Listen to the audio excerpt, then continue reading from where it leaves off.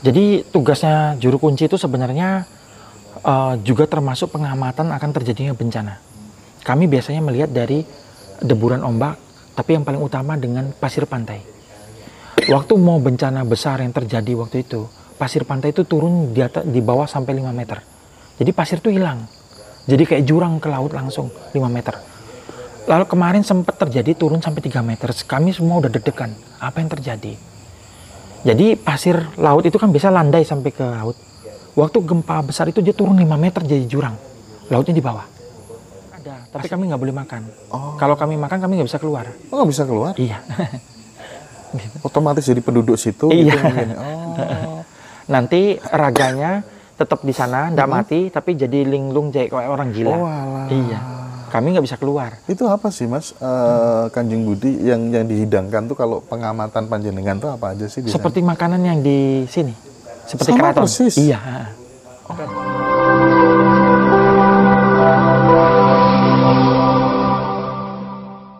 sebenarnya. Cuman tak lihat kok, oh, kok banyak wanita-wanita ya di pinggir-pinggir laut Iya, gitu banyak kan sekali. ya. Infonya sih. Oh, Tapi oke. saya mau sampaikan satu Pak ya. Tadi kan kita ngomongin pesugihan. Tapi ada satu yang orang nggak tahu namanya doa berkah. doa berkah. Memohon berkah. Oke. Nah, kebanyakan pengusaha dan pejabat itu lakukan permohonan berkah. Permohonan berkah itu kepada eh, ibu, tetapi ada satu password yang harus mereka tahu tentang, tentang berhubungan permintaan kepada ibu supaya tidak melanggar ajaran.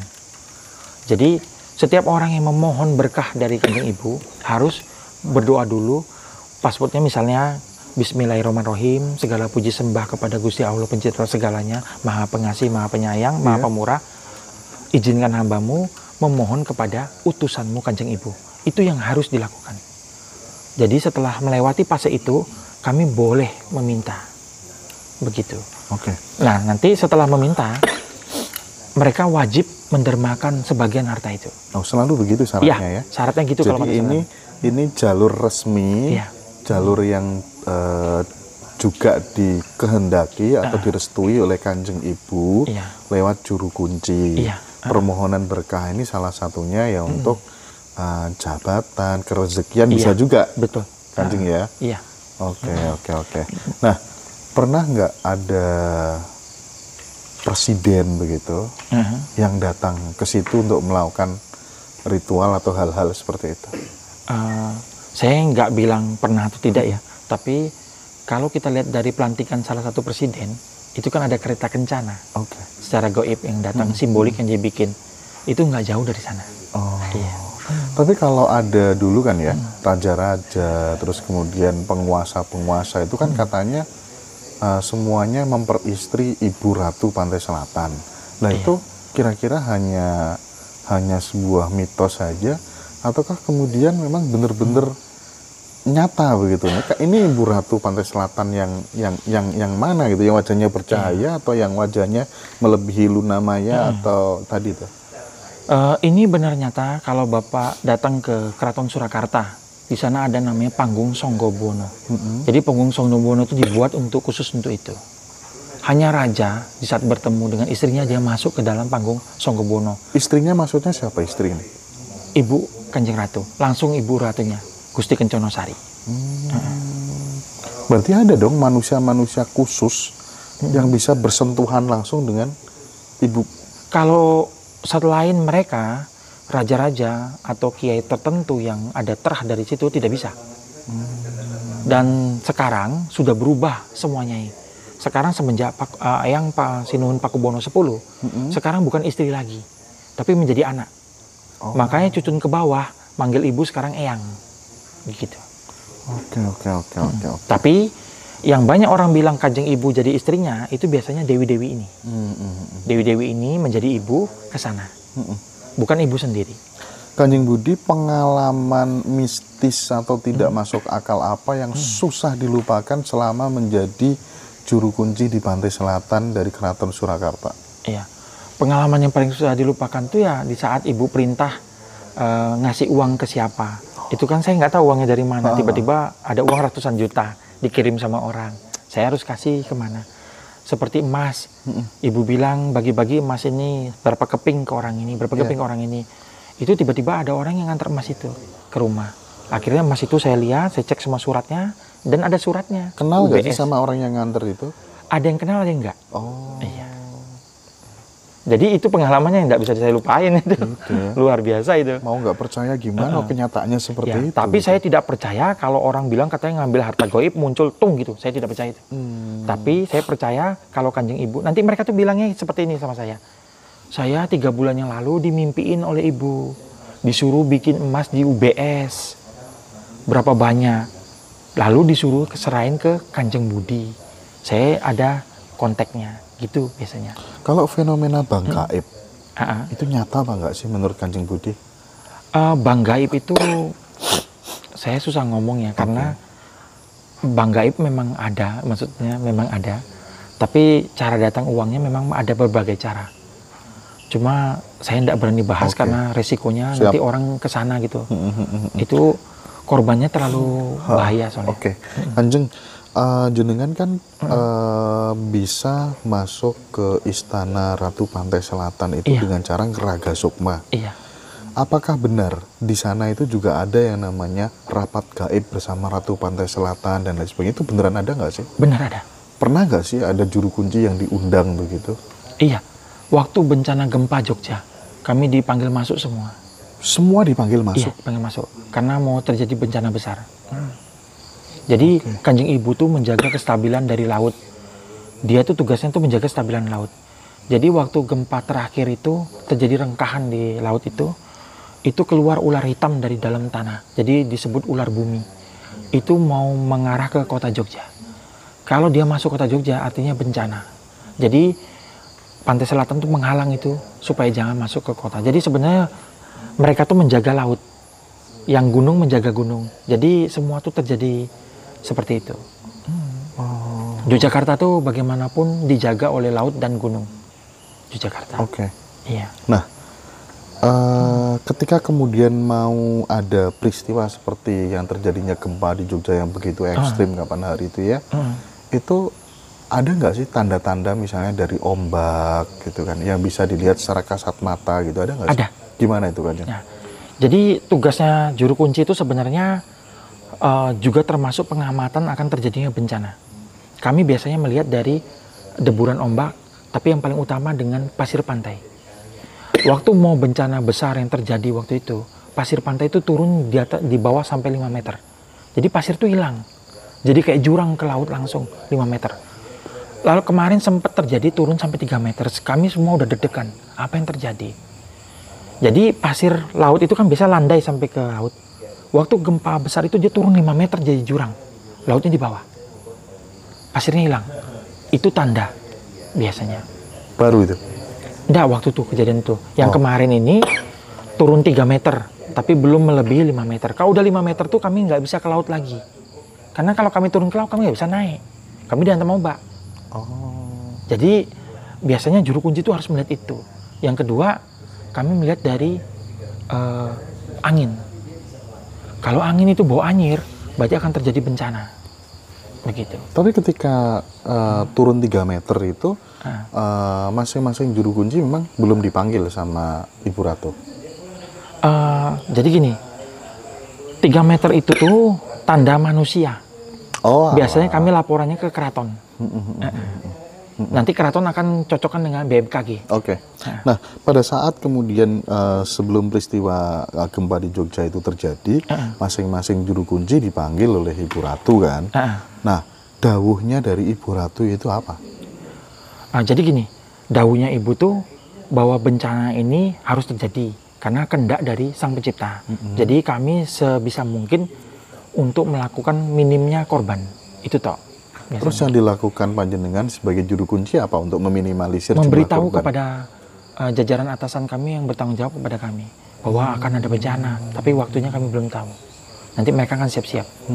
Seperti itu. Nah, ada informasi terbaru nggak sih supaya teman-teman mungkin di berbagai macam tempat, tidak hanya di Jogja aja sih sebenarnya. Kayak sebenarnya sekarang akhir eh, hari ini di tempat kami di Tuban juga terjadi gempa sampai tiga kali gitu kan ya. Nah, eh, nasihat Kanjeng Budi, misal barangkali ada intuisi-intuisi di beberapa tempat yang uh, berpotensi terjadi bencana-bencana itu apa saja yang harus dilakukan supaya tidak banyak korban itu ada nggak sih? Iya, jadi memang uh, dari sekitar dua tahun yang lalu kami udah dapat kode keras dari laut. Dua tahun yang lalu. Iya. Oke. Akan terjadi bencana besar yang utamanya di Yogyakarta. Jogja lagi? Iya, laut, gunung dan bumi akan bersamaan. Waktu itu kanjeng ibu ngasih lihat yang keluarga menangis terpisah, darah, bau anyir di mana-mana. Itu yang kami waktu itu dapat. Lalu dikonfirmasikan semua dengan tanda alam dapat. Lalu beberapa waktu yang lalu BMKG kan juga akan mengatakan ada akan menjadi gempa besar. Oh, relevan itu ya mega Iya. mega trust itu Iya, ya. betul. Nah, cuma ada sesuatu yang berbeda kalau dengan petunjuk tadi.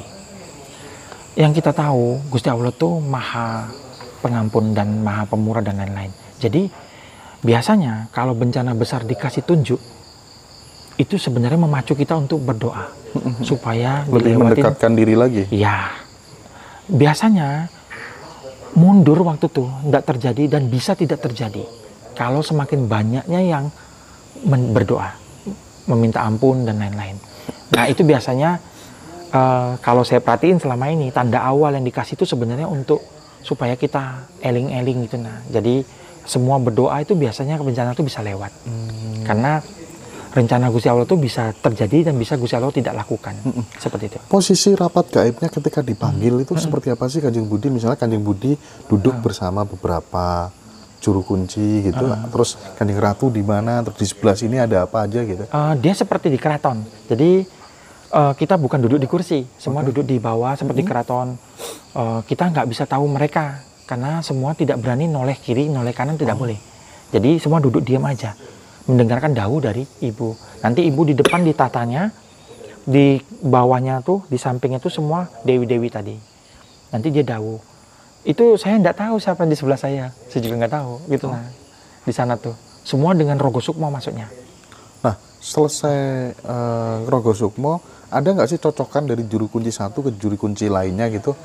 Dawuhmu sama apa enggak gitu? Oh, enggak. Enggak. karena kita masuk kan beda beda beda yang keperluan Oh. semua beda keperluan dan juga tidak semua juru kunci langsung ke ibu ada yang ditangani oleh menteri dalam maksudnya pengurus dalam Oke. begitu Nah, pada saat rapat gaib kayak gitu kan saya penasaran ya, hidangan-hidangan itu ada apa enggak sih di sana? Ada ada nasi enggak, ada ketan enggak, ada eh, kue-kue kayak gitu tuh ada nggak sih? hidangan ada tapi kami nggak boleh makan Oh. kalau kami makan kami nggak bisa keluar Oh, nggak bisa keluar? iya Otomatis jadi penduduk situ Iya. gitu mungkin. Oh. nanti raganya tetap di sana nggak mati tapi jadi linglung kayak kayak orang gila Oh, alah. iya kami nggak bisa keluar Itu apa sih Mas eh, Kanjeng Budi yang yang dihidangkan tuh kalau pengamatan panjenengan tuh apa aja sih di sana? seperti makanan yang di sini seperti Sama keraton persis? iya nggak ada beda tapi kami kan nggak berani makan Iya iya iya iya iya iya iya. iya. Nah pada saat kayak di Parangkusumo gitu ya, Heeh. kan biasanya teman-teman mesti ada yang nyalain dupa segala macam. Itu itu tujuannya untuk apa dan yang dibaca apa eh, passwordnya apa ketika mau di sana? Eh, sebenarnya itu hanya simbolik aja Oh iya jadi sesungguhnya intinya tuh eh, juru kunci Rogo Sukmo tapi biasanya kalau doa yang dikeluarin dengan kata-kata manusia itu biasanya biar tamunya lebih gimana lebih gimana dia doain disebut nama tamu. Sebenarnya intinya Rogo Sukmo tuh dia ngasih tahu itu sebenarnya. Doa yang luar itu ya tambahan aja. Tapi kalau sesaji memang ada yang utama untuk pantai selatan. Yang nggak boleh ditinggalin. Apa tuh? namanya telon suci. Telon suci, iya. Kembang ya? ah sesaji yang kembang. Jadi sesaji itu kalau keraton itu kan besar. Orang-orang nggak bisa lakuin sesaji keraton itu terlalu biayanya mahal. Eh, batiknya khusus harus dibikin khusus yang nggak boleh ini. Harus ada kemben dan lain-lain. Ada batangan emas yang dibikin jadi campur dengan berapa logam. Itu nggak bisa masyarakat lakukan. Jadi yang utama untuk kanjeng ibu itu sebenarnya hanya telon suci. Telon suci itu terdiri dari mawar putih melati putih dan kantil putih. Itu adalah lambang dari hati tujuan kita keinginan kita bersih kepada sang pencipta itu sebenarnya. Tapi di saat dia bikin telon suci, dia akan dilakukan eh, terjadi cobaan dalam dia satu hari itu sampai telon suci dilabuh. Nanti dia akan dicoba tentang emosinya, apanya. Biasanya ada yang lulus, ada yang enggak. Iya, iya. Kalau nggak lulus ya nggak jadi labuhan. Iya. gitu. Kemudian terkait dengan fenomena yang memakai baju dengan warna hijau. Hmm. Nah, itu Ah. katanya berbahaya itu bener apa enggak sih? Nah, kalau fenomena baju hijau dan baju ungu, Hmm, Ungu sama ungu ya? ya ada ungu satu lagi. Baju hijau dan baju ungu sebenarnya tidak ada masalah. Cuma ini karena juru kunci yang terdahulu, yang yang terdahulu yang mendahulukan seperti itu, jadinya ya ngikut semua ke bawah. Sebenarnya kan itu pengaruhnya kalau hilang di laut bajunya hijau susah ditari. Seperti itu, tapi nggak pengaruh. Kadang-kadang saya juga pakai kok baju di dalam Oh gitu ya. Oh, oh hijau, nggak apa-apa itu. Oke. Orang sampai takut, celana dalam nggak berani hijau, apa nggak Iya. berani hijau gitu. Sebenarnya nggak apa-apa, tapi sekarang sudah mulai bebas kok, udah mulai nggak apa-apa. Tapi kalau yang dipakai Kanjeng Ratu sendiri memang dominan hijau. Enggak, Oh enggak ya? deep blue. Oh deep blue ya, warna dasar laut ya. Iya. Oh. iya iya. Kalau hijau, hijau daun Dewi Blorong, hijau pupus yang muda Nyi Roro Kidul. Gitu. Kalau ibu deep blue. Kanjeng Ratu Kidul itu ada yang tanya itu. Kira-kira beliau bertuhan atau ateis gitu? Beliau tunduk kepada Gusti. Oh tunduk kepada Iya. Gusti ya. Cuman universal gitu ya. Nah, karena gini, kalau dalam dunia goib kegustian, agama itu hanya di manusia. Oh Agama. iya, sih, lupa saya. Jadi di sana nggak ada adan ya? Ya, oh, kalau Keraton Kidul, ajan manusia pengaruh. Tutupnya keputaran terakhir. Pengaruh. Gimana maksudnya? Maksudnya gini, orang bisa masuk ke Keraton Kidul, tapi di saat ajan, pintu keputaran ibu tutup. Oh, Iya. gitu ya. Iya, tapi alun-alun sama yang pintu kedua buka. Tapi untuk bertemu ibu langsung tidak bisa. Tutup Oh, di saat ajan. Itu dia.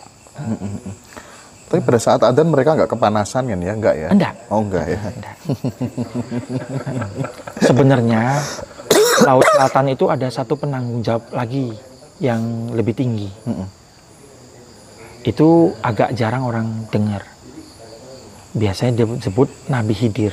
Oh Nabi Khidir. Iya, dia menguasai lautan seluruhnya full. Itu di atasnya Kanjeng Ratu. Iya, kanjeng ibu cuma untuk selatan. Oke, oke, oke, oke, oke. oke. Begitu. Oke, oke, baik, baik, baik, baik. Nah, eh kita masuk ke pertanyaan-pertanyaan terakhir, teman-teman semuanya. Aduh, seru banget ya. Aku sampai lupa deh mau tanya soal apa gitu. Terkait ini, Kanjeng Budi, terkait apa tuh namanya? Tumbal yang katanya Kanjeng Budi pernah ngelarung sembilan kepala sapi. Iya. Ya, itu tuh gimana tuh? Tujuannya untuk apa tuh? Ah, jadi waktu itu ah, terjadi di saat awal corona. Jadi sebenarnya untuk ke waktu itu di awal corona lakukan tumbalan itu sebenarnya ada tujuan tertentu dari dari yang ah, meminta pemerintah masukin. Mm-mm. Cuma biasanya itu kan labuan tuh hanya kepala kerbau kalau untuk keraton. Tapi kalau dirubah ke kepala sapi itu biasanya berhubungan dengan ada meninggalnya nanti yang di laut. Jadi waktu itu tujuannya memang ada tujuan tertentu dari uh, pihak sana. Kami hanya lakukan aja gitu. Hmm. Ya resikonya setelah itu kan terjadi kematian. Ada yang sekeluarga tenggelam. Biasanya juru kunci kalau udah ngelabu sembilan, kami akan nunggu hitung. Harus sembilan masuk. Lebih lebih baik. Ya kadang-kadang saya susah ngomong, saya pernah telepon ke kiai saya. "Wih, bagaimana kiai saya dosa nggak nih gimana? Dia bilang kamu hanya lakukan tugas. Nggak apa-apa katanya. Cuma saya tanya kanjeng ibu, benar nggak kanjeng ibu yang minta? Kanjeng ibu bilang tidak. Jadi mereka sendiri yang masukin. Seperti itu yang kejadiannya. Resikonya untuk Raga Sukma itu kan sampai mempertaruhkan nyawa gitu ya. Iya. Nah, pada saat ada tamu gitu, eh, ngasih amplopnya itu imbang nggak sih kadang? Atau boleh narjet nggak sih kira-kira? Eh, dulu ndak boleh ceritanya.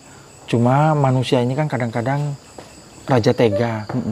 Jadi kalau misalnya kita nggak ngasih tahu jumlahnya, Oh, gih, makasih banyak dokter. Gih, gih, gih. Jadi pernah kejadian kita nggak ngasih tahu biayanya berapa. Dia pulang hanya ngasih kami 50.000 ribu. Jadi dia nggak tahu menyan itu yang satu kotak eh, satu petakan gini aja udah 5000 Iya, iya. Sekali dia masukin udah habis menyannya. Iya, Terus iya. anak-anak yang bekerja kan ada uang makan, nggak bisa kita bayar jadinya. Jadi sekarang memang saya udah tentuin untuk masuk gaji anak-anak. Jadi saya masukin gaji anak-anak, saya bilang jumlah sekian mereka biasanya ngasih. Tapi kebanyakan kita dikasihnya lebih memang dari mereka. Oke. Karena mereka kan senang termasuk derma eh, sodako ke kami itu jatuhnya iya, Kayak iya. seperti perintah sana jadi mereka lebih ini jujur kalau mereka yang eh, kedoa ke sana biasanya kami memang dikasih rezeki banyak dari mereka Oh gitu ya. iya eh, seperti itu tapi juru kunci juga hidupnya nggak pernah kurang kok Oh, Oke Ah. oke oke. Apalagi yang datang pejabat atau artis gitu ya. iya seperti itu Ah. jadi mereka memang tapi susah pak kadang-kadang kalau artis ya pak karena manajemennya yang ngatur pak Oh gitu eh, ya. jadi manajemennya tuh kadang-kadang motong-motong juga gitu Iya iya iya iya. iya. iya Eh, tapi by the way ya, aku ketika melihat Kanjeng Budi itu kok teringat dengan sosok Siddhartha Gautama gitu ya. itu pram apa perawakan rambutnya, kepalanya gitu kan ya. Atau memang terinspirasi atau gimana tuh? Eh, jadi enggak. Dulu saya itu kan bekerja di Jakarta, lalu leluhur saya bilang tinggalin semua, tirakat ke tanah Jawa. Lalu Oke. saya mencari jati diri. Jadi saya kan dikasih tahu guru saya, tidak boleh lewat umur 40, kamu susah nanti menemukan jati diri. Saya lakukan meditasi, tenangin diri untuk mencari siapa saya sesungguhnya. Kenapa saya hidup dan tujuannya apa? Akhirnya suatu saat saya lihat diri saya tuh ada di antara eh, banyak biksu. Saya duduk di bawah. Lalu saat itu saya lihat yang duduk di atas tuh seperti Siddhartha Gautama Buddha. Dia nyampaikan ajaran. Akhirnya saya baru tahu semenjak beliau manggil nama. Iya. Saya baru tahu bahwa diri saya dulu Ananda namanya. Salah satu murid dari 10 muridnya Sang Buddha. Setelah saya tahu seperti itu, mengikuti ini jadinya. Saya nggak bisa lagi rambut panjang. Eh, perawaan orang sudah manggil kok kayak biksu. Itu mengikuti setelah jati diri saya ketemu. Oke. Saya, dan saya tahu sekarang tujuan hidup. Makanya saya hanya jalani. Saya punya uang, saya beli makanan. Saya kasih yang keluarga seperti yang saya wajiban saya. Itu aja. Tidak ada yang lain-lain saya mau. Baju semua dikasih orang. Jadinya tidak pernah khawatir gitu. Oke. Kanjeng Budi ketika kemudian ada orang penasaran, Mm-mm.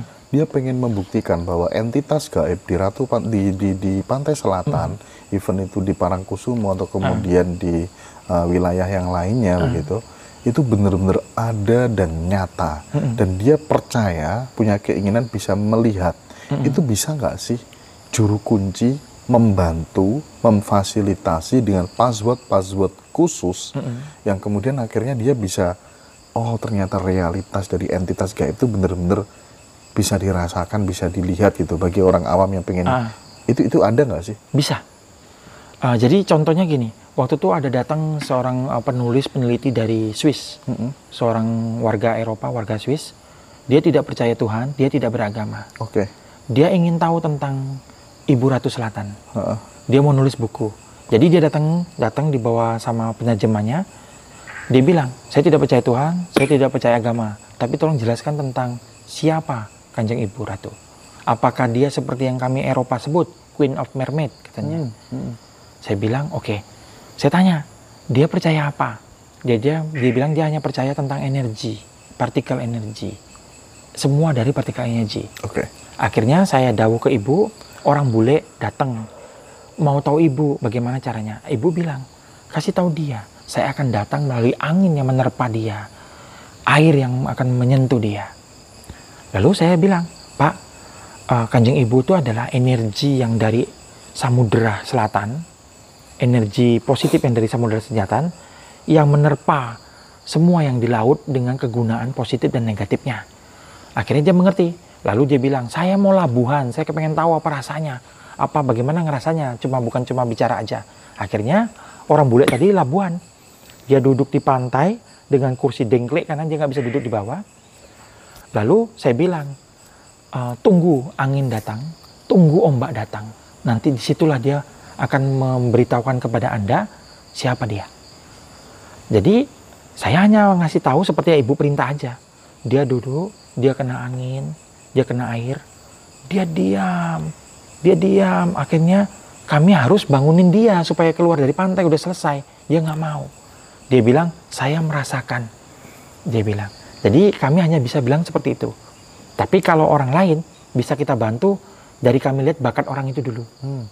Bakatnya ini bisa, kami akan bukakan mata batinnya. Kami buka rahan indah perasanya, baru dia bisa ngerasain.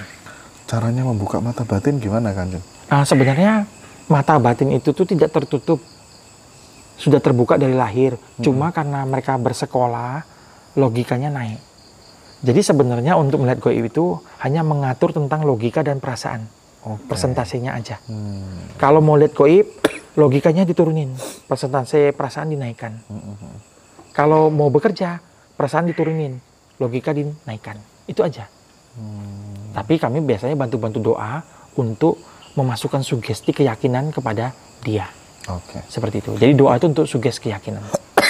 Nah, teman-teman tuh pad- pada banyak yang nanya soal batu yang dipakai itu loh di jari itu loh. Itu batu apa harganya berapa gitu. Ini batu bacanya Pak Heru. Oh, batu bacan. Ya, bagus Kalau banget ya. seperti ini pasarannya sekitar 50 jutaan. Waduh, Pak Heru. Ini Teman-teman bacan tahu Pak doko. Heru kan? Nah, itu Pak Heru. Bacaan Nah, doko. Saya cuma dipinjemkan. Iya. fokus bacanya Iya. katanya pada yang fokus bacannya. Jadi ini lagi dalam perawatan. Jadi Ah, saya pakai karena bacan ini batu hidup, dia harus kena panas tubuh manusia. Hmm. Oke. Terakhir eh, apa yang ingin sekali lagi ingin ditegaskan, diedukasi oleh Kanjeng Budi terkait dengan sosok eh, mitologi yang ada di Ratu Pa- yang ada di pantai selatan yang mau diluruskan soal soal apa saja terakhir untuk menutup perjumpaan kita ini dan dan yang final adalah eh, apa yang bisa dilakukan teman-teman eh, lewat lewat juru kunci juru kunci gitu supaya tidak tidak apa ditipu sama juru kunci yang palsu gitu kira-kira apa saja yang bisa dilakukan yang positif-positif yang berkaitan dengan kerezekian dan keberkahan hidup gitu. Silakan. Iya. Jadi yang saya mau luruskan itu bahwa uh, yang didengar cerita selama ini Pantai Selatan itu ya tidak sepenuhnya benar. Kanjeng Ibu sendiri tidak melakukan hal-hal yang seperti tadi, tapi warga goib yang lain yang biasanya melakukan selalu bawanya ke Kanjeng Ibu. Yang kedua, Kanjeng Ibu itu hanya menjaga, hanya menjaga titipan yang Gusti Allah taruh di sana. Jadi harta melimpah yang di sana. Itu kenapa eh, beliau diizinkan untuk memberikan menyalurkan harta itu dengan cara orang itu harus meminta ke Gusti dulu baru ke Kanjeng Ibu. Oke. Itu syaratannya. Lalu yang kedua, kalau misalnya orang datang ke sana harap lebih baik hati-hati karena penipuan sangat tinggi. Jadi lebih baik menggunakan ja- jalur juru kunci yang sah dari Yogyakarta ada 13 orang, dari Surakarta ada berapa orang atau guru-guru yang bisa dipercayai karena penipuannya sangat tinggi di pantai selatan. Seperti itu. Jadi eh, tetap semuanya tuh di bawah kendali Gusti Allah. Tidak ada yang lebih dari itu. Iya, Parangkusumo sama Parangtritis bedanya apa sih versinya Ibu Ah, Ratu? sebenarnya itu parangtritis semua. Disebut Parangkusumo karena itu dulu tempat bertapanya dari Trah Kusumo. Jadi disebut Parangkusumo Oke. iya. Parang itu kan pantai. Iya Baik, eh, jadi ter- terakhir untuk mem- memanfaatkan apa tuh namanya juru kunci yang resmi tadi, Heeh. itu itu untuk keperluan apa saja kan? Bukan pesugihan kan? oh bukan Oh bukan. Kalau juru kunci resmi dia tidak akan lakukan pesugihan, Oke. tidak boleh. Kalau pesugihan itu biasanya ke dukun-dukun yang lain. Oke, kalau ke yang resmi apa yang bisa dilakukan teman-teman? Doa berkah, Doa berkah. memohon berkah. Jadi memohon berkah itu berkah itu bisa turun, bisa tidak. Tapi begitu berkah itu turun, dia harus mendermakan uangnya itu untuk misalnya bangun masjid, Oh, membantu bagus, orang. bagus, Tapi bagus. kalau tidak, dia akan dapat ciloko. Jadi kalau dia udah terima berkah itu, kalau dia nggak lakukan kewajibannya, langsung terjadi hukum ciloko. Nah, Gitu. pengakuan dari pasien-pasiennya Kanjeng setelah melakukan doa berkah itu rata-rata gimana? Bisa nggak di-share sedikit? Oh iya. Jadi seperti contohnya ada kemarin tuh ada kasus dia bermasalah dalam rumah tangga. Dia udah stres, dia datang ke selatan, dia minta tolong. Saya bilang minta tolong itu kan kepada Gusti tapi melalui utusannya. Oke. Jadi sebenarnya saya jelasinnya gini. Misalnya Kanjeng Ibu tuh kayak Pak Jokowi. Saya ini petani. Saya mau minta tolong Pak Jokowi untuk pupuk. Nah, kan saya kirim surat ke Pak Jokowi, tapi kan tetap CC-nya dikasih ke Menteri Pertanian. Iya betul. Nah, kanjeng ibu tuh kayak menteri pertaniannya gitu. Jadi orang itu akhirnya ritual, habis itu dia pulang-pulang, besoknya rumah tangganya pulih langsung. Yaitu, nah ada juga yang pengusaha, dia udah di, diambang kebangkrutan. Dia dia bilang dia mau kalau nanti kanjeng ibu bantu dia, sebagian hartanya dia akan berubah, dia kasih orang, dia bantu untuk apa. Akhirnya suatu saat dia dapat usahanya tiba-tiba tender datang dan lain-lain dia banyak lalu dia telepon saya saya udah derma kata dia. Saya bilang dermanya yang mudah atau yang sakit? Maksudnya tuh jumlahnya tuh yang bikin dia agak berat itulah yang derma yang diminta ibu. Tapi begitu dia derma itu uang akan datang lagi. Jadi tidak berkesudahan. Jadi kuncinya der- eh, dia sodako itu datang. Oke. itu pantai selatan. Jadi Pantai Selatan justru men-trigger orang-orang Hmm. yang datang untuk berdirma, ya Iya. kan? untuk eh, memberi, berbagi, sedekah gitu Iya. ya. Tidak seperti imit yang selama ini melekat Enggak. tentang Iya. pesugihan dan lain sebagainya Iya. gitu ya. Oke. Betul. Kanjeng Budi, terima kasih Iya. banyak dan bagi teman-teman nanti yang pengen terhubung langsung dengan Kanjeng Budi, silahkan nanti kita hubungkan ya. Kanjeng Budi, makasih banyak ya atas Iya. waktunya. terima kasih Mohon juga maaf apabila Iya. tadi tadi terakhir, terakhir, terakhir terus gitu ya. Tidak apa-apa. Suwun, Iya, rahayu. terima kasih Rahayu, Rahayu, Rahayu.